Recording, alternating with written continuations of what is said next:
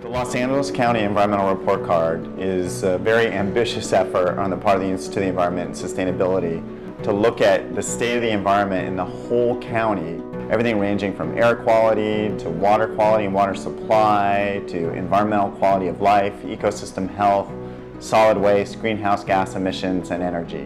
We were looking to compile these various indicators and then be able to update them on an annual basis going forward. Clearly, if you get a C on the report card, it doesn't show that you're doing so well, and so it's an indication that there's improvement to be made and that can be made.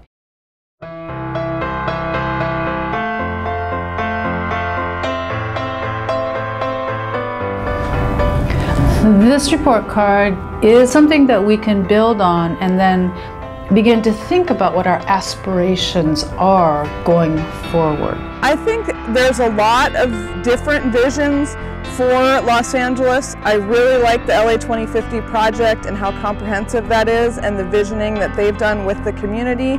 I like the UCLA um, Grand Challenge vision. I think it'll be a point of uh, starting a conversation about how we can do better uh, what our targets should be for areas that uh, currently don't have any regulatory requirements or regional targets. And I think it's a point where people can get more engaged in both the, the overall essence and the, the detailed quantification of what the environmental condition is. A lot of the solutions that basically can be moved forward to improve the quality of the environment is going to come from the general public. They're obviously living, breathing in the environment each and every day. Um, and so hopefully they'll take a look at this report card and think about ways to improve the quality of life. The report card effort combined with some of these other efforts that are already happening is putting us on a path to being able to take actions that will really improve and enhance um, the county.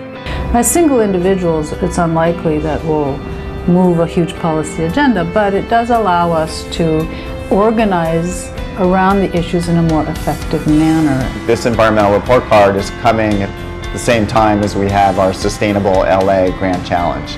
Um, and so to be able to have some set of metrics to sort of see how are we doing as a whole in LA County is going to be very, very helpful to assess the progress that we're having in achieving the ambitious Sustainable LA Grand Challenge.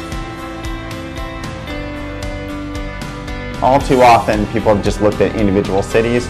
We wanted the bigger picture.